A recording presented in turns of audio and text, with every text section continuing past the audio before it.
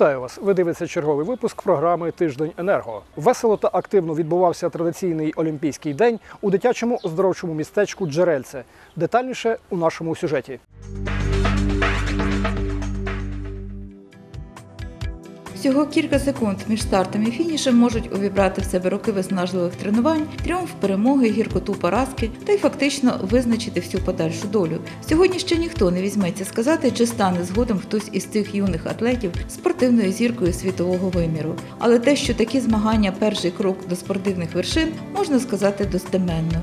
І всі, хто взяв участь в Олімпійському дні, що відбувся у дитячому оздоровчому містечку ПАД Хмельницького Енергоджерельце, цей крок зробили.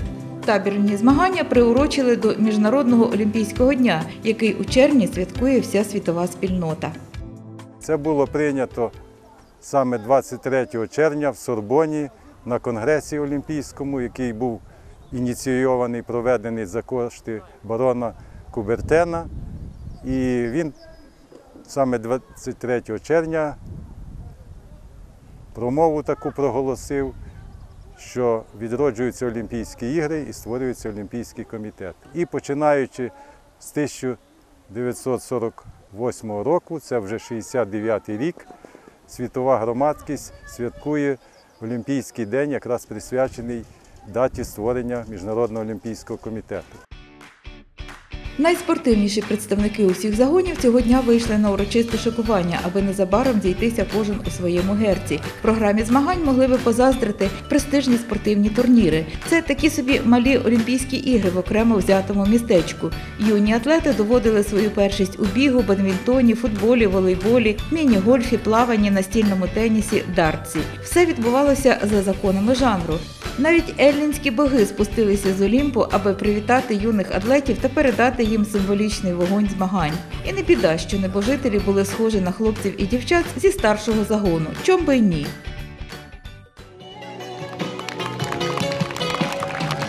Μίλα μου, ναι, μίλα μου Αν την αγάπη που σου έδωσα την άξιζες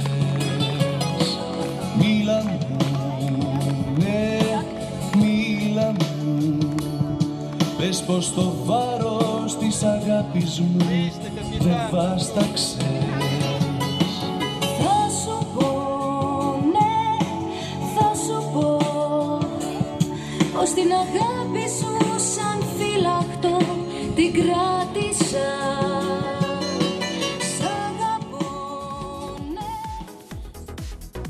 Змаганням додала ваги і присутність цілком реальних титулованих спортсменів, які спеціально прибули, аби підбадьорити юних атлетів. Чого варта лише присутність Сергія Нагорного, легендарного земляка, який у далекому 1976 році виборов першість із веслування на Олімпіаді в Монреалі.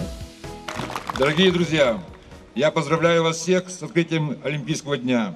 Вы молодые, красивые, жизнерадостные.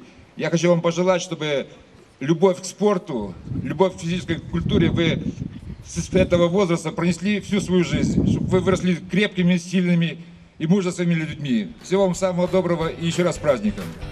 Вирушаючи до джерельця, чемпіон прихопив із собою свої найцінніші трофеї срібну та золоту олімпійські медалі. Відчути олімпійське золото на дотик прагнули всі юні учасники змагань. Тож медалі, так би мовити, пішли по колу. А тим часом з напутнім словом виступив ще один знаний подільський атлет, заслужений майстер спорту з легкої атлетики, перший заступник голови відділення Національного олімпійського комітету у Хмельницькій області Віктор Фленкін, який досі підкорює бігові доріжки європейських стадіонів. Привітавши спортсменів із початком змагань, він зауважив: сьогодні Хмельниччина стала своєрідною кузнею олімпійських кадрів. Сьогодні, як ніколи, Хмельниччина буде мати в Ріо де Жанейро велике представництво. Ми будемо вболівати і за легкоатлетів, і за борців. А що саме цікаво, що одразу три веслувальника з міста Хмельницького це Янчук Дмитро, НВК номер 2 це Алтухов Павло і Інна Грищун будуть виступати в веслуваннях на байдарках і каної. Хочу сказати, що ми будемо палко вболівати за наших спортсменів. Не знаємо, як там складеться їхня доля, але бажаємо їх зайняти якнайкращі там місця. Так що Слава Україні! Прапор змагань піднято, напутні слова сказано, олімпійське золото випробували вже, мабуть, і на зуб. Олімпійську клятву виголошено. Ми, олімпійці, клянемось бути чесними, рекордів високих клянемось досягти. Спортивні баталії у джерельці тривали майже цілий день. Імениті гості, спостерігаючи за завзяттям юних атлетів, трохи ностальгували за своїми першими, тоді ще не скореними підесталами і по-доброму заздрили молодому племені, яке має таку прекрасну тренувальну базу. За останні роки ми бачимо, покращується база в джерельці спортивна. І ми якраз знаходимося на майданчику, де ми на синтетичній поляні 57 метрів бачимо укладене синтетичне покриття, яке дозволяє проводити ігрові види спорту. І на цьому майданчику сьогодні буде проведення і метання м'ячика на дальність. Є ігрові площадки. Сподіваємося, що реконструкція завершиться покладанням синтетичного покриття на цьому. І бачиться таке, що табір має перспективу в не літній час, а приймати навіть е, збори, будемо казати, і збірних команд області, збірних команд України, які би могли тут покращувати свої фізичні кондиції і віддихати, так сказати.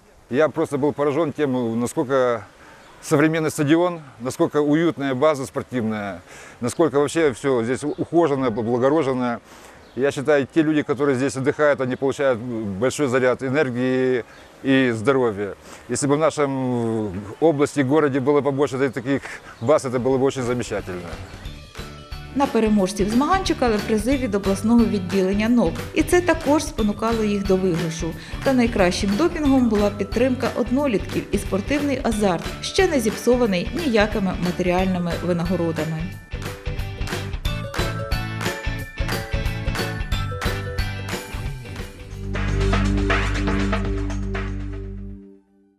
Урок лекторії з пожежної безпеки, проведений нещодавно для юних відпочивальників табору, дивіться у нашому наступному сюжеті.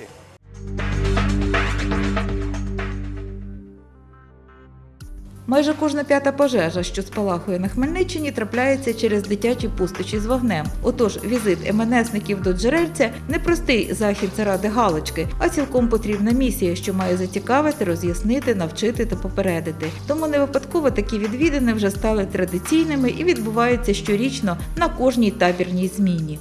Сьогодні ми приїхали в гості в табір Джерельце, щоб нагадати діткам правила пожежної безпеки, пов- пов- поводження на воді, е, поводження як з грибами по- по- поводиться, з зміями. Також ми їм показали бойові автомобілі ППД-2, показали, як подається вода, як подається піна. Було дуже дітям цікаво і дуже було багато емоцій.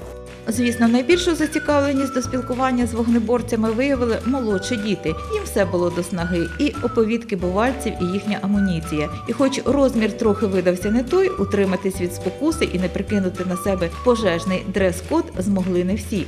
Малі відчайдухи у повному обладунку виглядали дуже хвацько, на заздрість необмундированим ровесникам.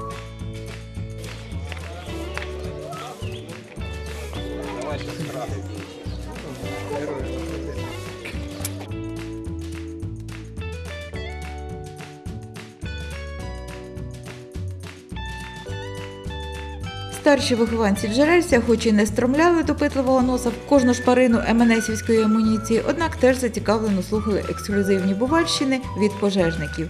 Сьогодні у дитячому оздоровчому таборі Джерельце пожежно-рятувальним підрозділом Державної служби надзвичайних ситуацій України були проведені навчання. Е, Основна мета даних навчань е, це е, проведення маси роз'яснювальної профілактичної роботи.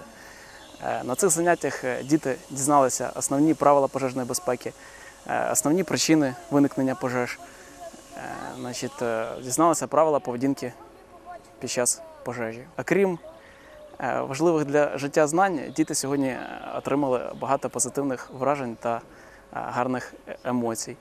Е, Вони мали змогу е, поспілкуватися з пожежниками, рятувальниками, е, одягнути на себе їхній бойовий одяг, спорядження, потримати в руках пожежний ствол. Е, Ось. е, Ну і в результаті діти е, краще починають розуміти, е, яка потенційна небезпека вогню, і е, краще знають, е, володівають знаннями, правилами пожежної безпеки. Єдине, що дітлахам не вдалося цього дня вийти сухими з води. Навіть більше потриматись за пожежний ствол виявилось стільки охочих, що біля обладнання щинилась невелика штовханина. Щастя усміхнулось не кожному. Зате всі змогли добряче викупитись під бризками від водяного струменю. А літня спека їх до цього неабияк заохотила. Мокрі та щасливі вони проводжали вогнеборців до наступної зустрічі, що неодмінно буде в джерельці наступного літа.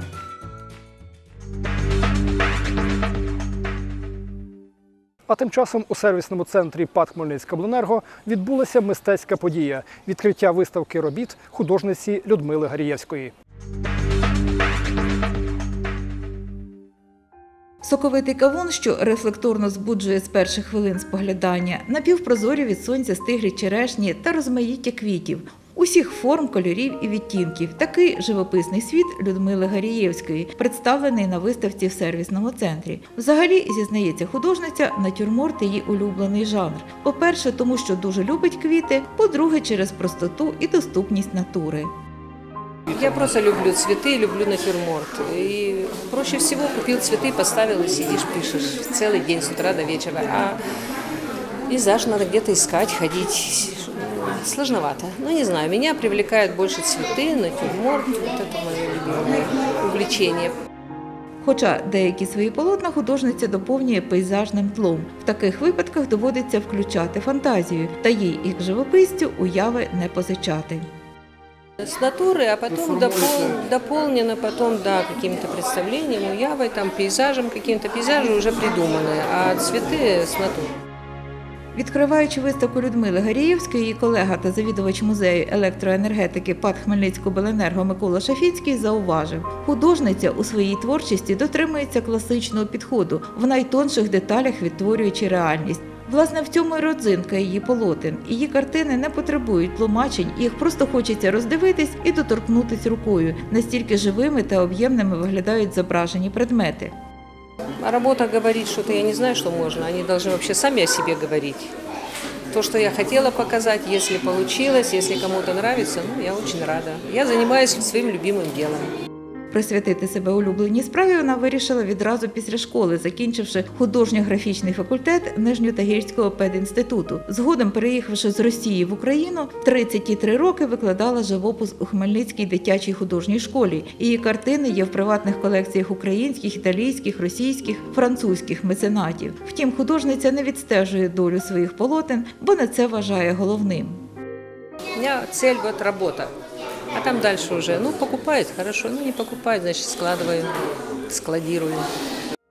І все ж виставку в обленерго вона розглядає як можливість гучніше заявити про себе, адже мистецькі салони та вернісажі зазвичай відвідує вузьке коло шанувальників. А тут, у сервісному центрі, кожен відвідувач мимоволі кине погляд на її полотна і вже не відведе очей. Меня во второй раз уже пригласили сюда. Я очень благодарна за это Будем работать дальше. Будем копить работы и работать дальше. Приглашайте, мы всегда рады. На цьому час нашої програми вичерпано. На все добре. Зустрінемося, як завжди, за тиждень.